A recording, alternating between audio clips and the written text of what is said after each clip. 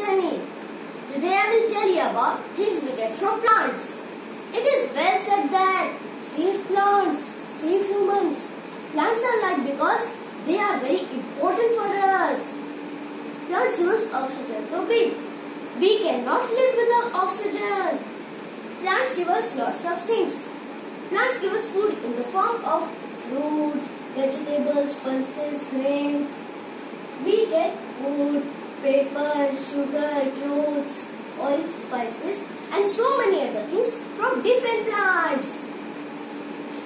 Some plants like tulsi, neem, ginger, garlic are used to make medicines.